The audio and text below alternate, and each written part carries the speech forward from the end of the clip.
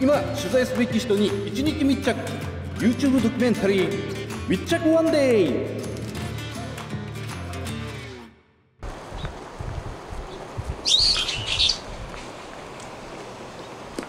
こんにちは。ご無沙汰してます。久しぶりです。おみさん、はい。ちょっとあカメラ変えました。変えました。ちょっと公園歩きながらいいですか？あ、どうしご一緒に行きますか。なんか変わりましたね。ちょっと綺麗になってるんですよね。ね、工事しでて。、母親が9階にはい。あどっかにいるみたいな。9階に、あ、もうお移りになった。そうですね。新しいところに。あ、そうなんですね。で、それまではエアコンとかもなかったみたいなんですけど、エアちょっと空調も効くようになったみたいで。良かったですはね。もうこの酷暑でどうされてるかなとそうです。ね。エアコンない部屋でね。で、冬はずっと北海道でずっと今まで体ぬくめてたみたいなんですけど、はい。ちょっと空調がついたことを喜んでました。へえ。本当にね、すごい酷暑。な冷房なくてどうするんだろうと思ってそうですね。ましたよね。ね、拷問に近いような。ねえ。しなもう正直言っちゃう、汚く言っちゃう、死刑囚だったら何でもいいのかみたいなね、まあまあ、感じになっちゃいますそうですね。刑の執行が罰で、もんね。はい。それまでの間はうん。ね、あの、不必不必要に罰を受ける必要はないとは思うんですけどね。こちらの9階、こちらの9階に移られた。お母様どうどうでした？元気そうでしたは元気そうでしたね。で、メンタル面もはい。なんかこう落ち着いてて、はい。で、事件に対してもう絶対やってないっていうふうに、これからも言い続けていきたいっていううんことは話してました。だいぶこの SNS とかで、はい。実はお母様が冤罪じゃないかっていうのがはい。騒がれてるっていうのは、ご、ご存知の感じでした？いやー、あんまり分かってないですね、うん中にいて。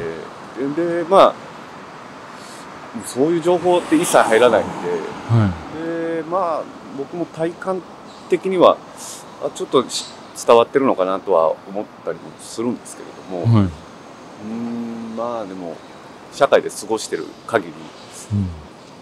まあ、ほ99%の人、まだにはつ伝わってない状況だなっていうのは実感したりはします。なるほど。もともとはお母様どちらにいらっしゃったんでしたっけ？はい。今見えてるはい。綺麗な建物はい。の左側に古い社屋があったんですけど、はい、ああ今解体してる感じですか？そうです。あちょうど今ガタガタいってる、はい、で地下ですごいもう湿度が高くて、はい、地下。したところ。そうか。おっしゃってましたねそれは地下、はい、死刑囚の入る場所だったみたいな、はい、ゼゼロ番ゼロがつく。ゼロ番。はい。番号に。ロ番ってどういう意味なの故障っていうんですかねその、はい、呼ばれる時番号で呼ばれる。ゼロ、ゼロバンクで0102とか。ああ、はい、08とか。ああそういうことなんですね。でゼロバンクって言われてるようなことがあったみたいです。それはもう死刑囚の方々がっていうこと？報酬入られて何年？もう事件から今年7月で25年目です。25年だからまあ収容目。はい。生活は25年です。その間、最初は和歌山の丸の内拘置所がはい。もうあったんですけど、こっちに移動してきてからはもう20年以上経ってました。もうまあそのこのね生活の中でねもう何度もこの YouTube でも話してきましたけど、一貫してやっぱり自分がやってないとそうですね。で、自分はやってないっていうのを、まあ、これからももう続けて主張していく。まあやっぱその意思には先ほどお会いした時もブレはなかったんですよちょっとなんか25年を超えて初めて会ったんですけれども、はいちょっとパワフルになってますよね、思いが。強くなってる。こう少しパワフルになってきたって何か公署内で何か影響があったんですかね。まあ、外のニュース、はい。新聞とかで例えばまあ赤俣さんはいの事件の動きだったり、はい。なんかそういうのにこう希望を感じてるみたいなことはちょっと話してましたね。なるほど写真が出てきたことで最新が通ってまた事件が何十年も経った後に動き出すっていう。あああいった様子を中で見ていて自分の事件にもそういう可能性をなんか感じてはいみたいです。何かきっかけが欲しい。過去の重大事件もひっくり返ってきたっはいていうことがお母様にも伝わってると。そうですね。でそれまでってやっぱりあまりその大きな事件が動き出すっていうのは、ね、ほぼなくてもう何らかの形で区切りがついていってた。で大きく報道されることもあんまりなかったというかはい。ここ最近ねあの冤罪っていうまああの裁判所も間違いがを起こすことがあるっていうのをを割と大きくメディアも取り上げ始めて、そういう世間の風潮というか流れに少し希望を持ってる。まあもうそれで言うならばちょっと僕もテレビをまだ制作中で真っ只中ではい。大変ちょっと申し上げづらいところもあるんですがはい。忌憚なくズバリ言いますと、はい。ジャニーズ事務所が、まあ、ぼ僕らはもちろんそんな噂はしもちろん知ってましたし、はい。けど、まあ、きらびやかなスターのタレントがずっと活躍してる中ででそれがやっぱテレビでもうすごもうすごい幅ではい。出演者として席巻してる中ではい。誰もそのねジャニーさんのその、ね、性癖というかことについては誰も声を上げない。上げずに。だからもう本当にあの多分みみんながもう本当悪いと思思います。やっぱり。あのこんなちっちゃあの一スタッフの僕でも少し声を上げたらばそうなの？えそうなの？ってそれ本当だったらダメだよねっていう感じでどんどんなってもっと早くなっただろうというのがああそうなんだでもなんかふ大きな組織だし触れるのも怖いし面倒くさいしやっぱど誰しもが思っちゃう。中でなんかやっぱりずっとここまで来ちゃった。これ使うんですか？はい。今あ使います使うんですか大丈夫ですかねいやいや使うんだったらあの会話しようかなと。いや使いますよ。いやだって、まあ。うん、いやだってそこをまた忖度ししちゃったらばああそうか。そういう。とどのつまりがはい。もうメディアは変わらないですよね。はいはい。で、まあ。僕も一応まだねおテレビでお仕事をさせていただいてそちらそれで生活もさせていただいてるので、はいそんな強いこと言ってこ仕事なくなっちゃうんじゃないの？って言うかもしれないですけど、それよりも前にえ報道ってもともと真実を知るためのうん。ツールなんじゃないの？はい。民衆の皆さんが本当のことを知って正しい知識で、ね、あの家族の安全とか、はい。ね、もう愛する人のあの未来の生活とかを守るためにこう役立てなきゃいけないツールなのに。いやなんか逆インタビューしてるみたいで。すいません。いやとんでもないです。いや勝手に喋り始いめて。やすごいいい意見だとなんですよね。でもだからすごく大きくやっぱ世の中がそうですね。時代の流れというか。そうですよね、今まで触れちゃいけなかったものにこの12年はい。まあ宗教の問題だったり。で今年ねアイドルの問題、アイドル事務所の問題だったり。触れちゃいけないところにこう触れ始めてる。メディアも恐る恐る。そうですね。でまあ、検察が出した裁判所が出した答えは間違いないっていう今までの報道からいやこれちょっとおかしいよねとかそそういう部分も含めて、その少しずつですけどはい、だんだん報道されるようになってきてうん。試験当時なんかはもうホースでね水まいて あの圧力うんそればっかりが流されて。で中にまあ数名いたんですよね。そのこれちょっとおかしくないかみたいなことをおっしゃられてる記者さんとかディレクターさんそれでもやっぱり困ることはないうん。でちょっとでもあの人おかしいんじゃないかっていうのを使われなかったっていう状況から少しずつこう報道側も一緒に変わってきてるような気はします。本当ね変わ変わんなきゃいけないしあのでも本当最近本当嬉しいのは例えば日本テレビの朝の情報番組で今ちょっと前のコロナ禍だとワクチン打ちましょう打ちましょうみたいな、はいすごい推奨派ばっかりだったのが最近の日本テレビで始まった「デイデーの中で南海キャンディーズの山ちゃんがやっぱワクチンをねあとまた新たな変異種が出てきて、はい。で厚生労働と労働省としたらワクチンをなんかあのまあう、えー推奨しますみたいな感じででも任せますみたいな感じなんですけど、はい。でもやっぱ推奨今やっぱりざねいろんなものところでワクチンどうなんだっていうことが騒がれてる中でやっぱ正しい知識とた正しい自分の決断を持ってしてもらいたいですねってちゃんと山ちゃんが言ってる。MC である。はいなんか南キャンの山ちゃんが言ってるとこ言えるよじ環境になってきたなっていうあそれでいいと思うんですよね。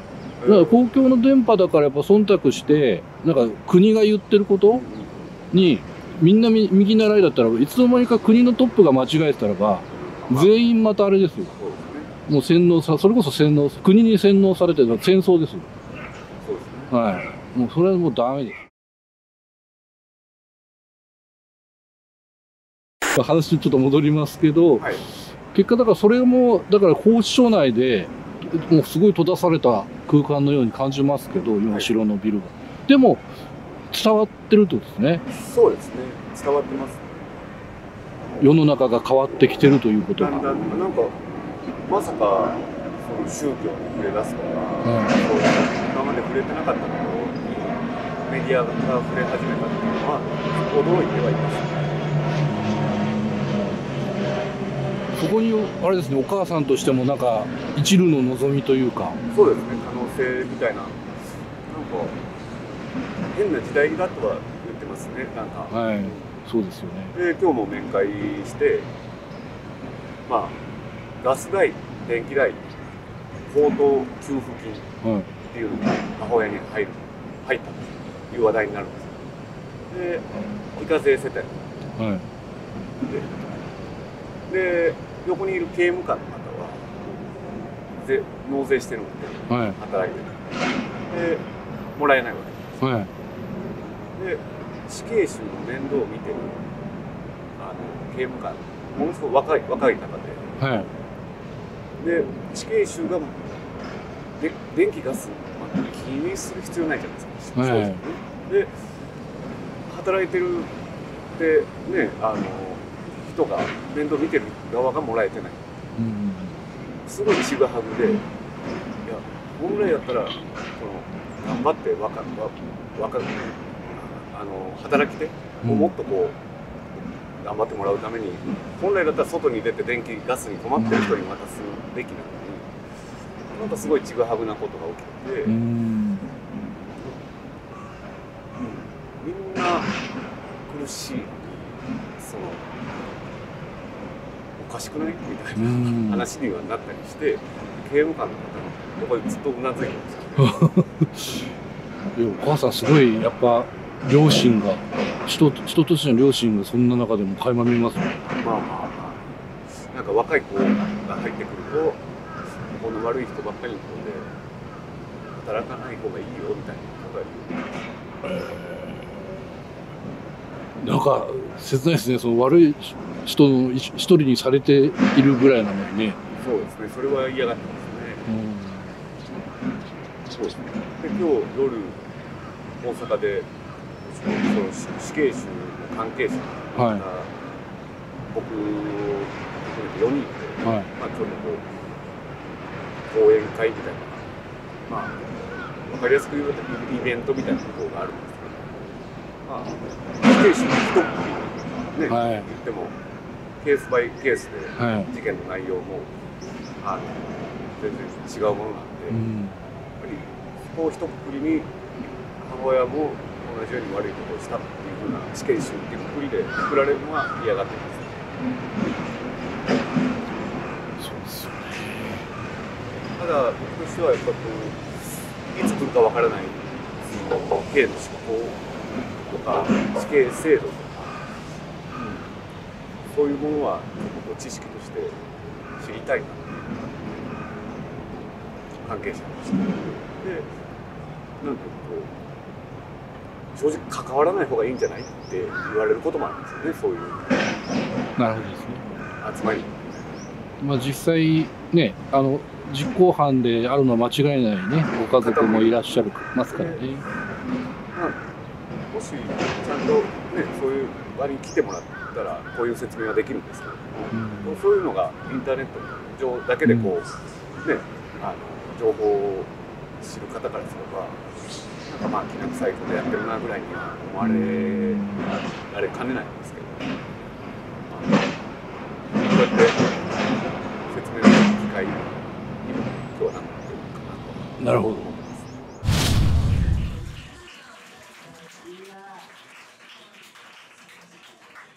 なんとなく今割合、割合で言ったのは、すごい言いづらいかもしれないですけど、やってない、やってる、やってないの2曲だとした場合、浩二さんの中で割合ってどれぐらいの？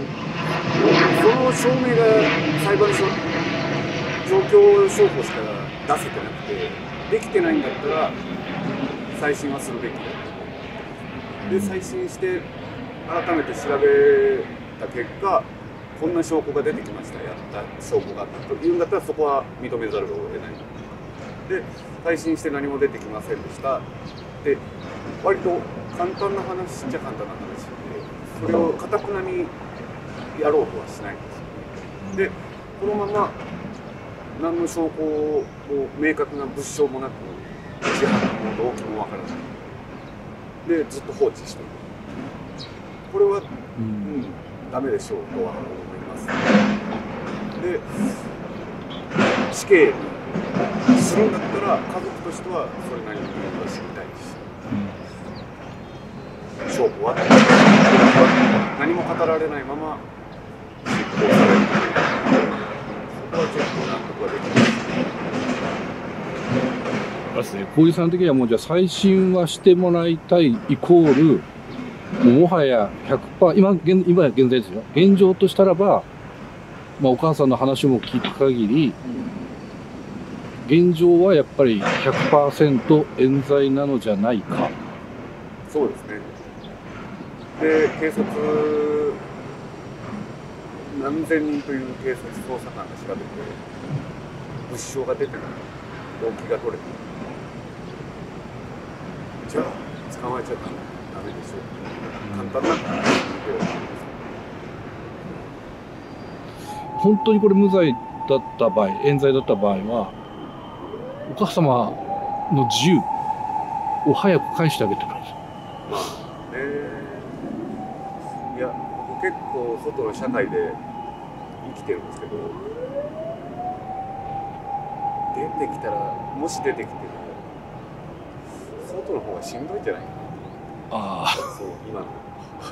暮らし僕は暮らしてて実感してますね。逆に僕合法的に中で3食出てきて洗濯の掃除も全部やってくれて、あ、はい。でねそんな暮らししてみたいです。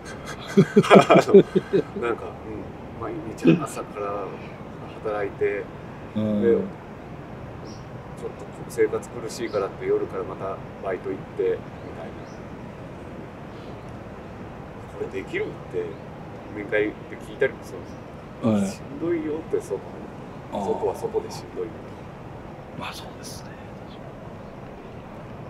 だ一個あれですね。やっぱここまで、ね SNS が騒がれて、ちょっとおかしいってなってるんだったらば、せめて俺はだから死刑を一回取り下げて、はい。はいだったらまず、まず、その怖さ、はいはい。いつ刑が行われるかっていう怖さを取り除いてあげて、もうだったら無期懲役の方がそれこ、だったらば、それこそ、小石さんがおっしゃってるみたいに、ずっと暮らしてた。方まあ僕個人的にはですよ。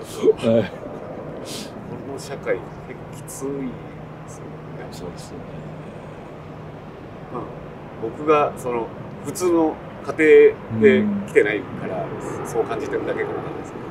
十分幸せに生きてるんだとね幸せそうな家族もいましたけど、結果でもなんか、結果、家族持ってて、僕も家族持ってますけど、生きていくのが大変か大変じゃないかって言ったら絶対大変で。はいはい、まあ それぞれね家庭内で問題を解決しながらみんなで家ん族で乗り越えてやってるんだと思うんですけど、まあ、それが楽しさかもわかんないですし、確かにね。乗り越えた時達成感感じたり、はい。僕はもう浩二さんにはぜひそういう風になってもらいたいんですけどね。なんか最近の若い世代はそこをゴールとしてない？あ、そうなんです。なんかそういう記事を見たりはしましたあ、そうなんですね。そういうマイホーム買って家族も立派に育て上げてこれで人生を送るのが、まあ、男の解消だみたいなはい。そんな時代じゃないかもわかんないですね。